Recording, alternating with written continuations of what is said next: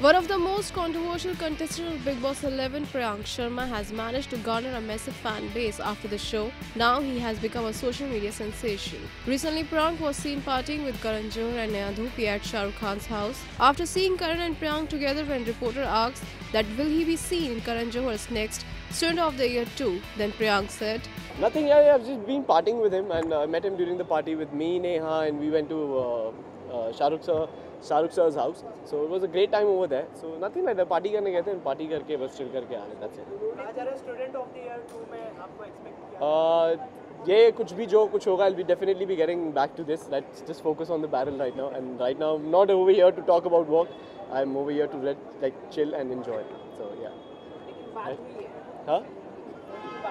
ये जब ज़रूर ज़रूरी लगेगा मुझे, मैं ज़रूर इस चीज़ को लेकर आऊँगा जब भी कुछ कंफर्मेशन देंगे।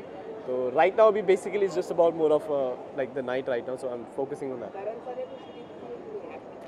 हाँ? सॉरी यार हम पार्टी करने गए थे, उधर इतना तो कुछ नहीं हुआ म्यूज़िक इतना अच्छा था, हम सारे के साथ dance like it was a good dancing session we exchange some drinks because मैं उनसे पहली बार मिल रहा था।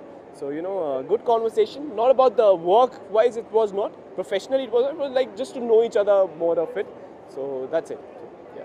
The actor will be seen in MTV's Troll Police, which brings celebrities and their trolls face to face. Rannvijay will host the show. Honest Report. Subscribe to our channel. Just click on the bell icon for all the latest updates.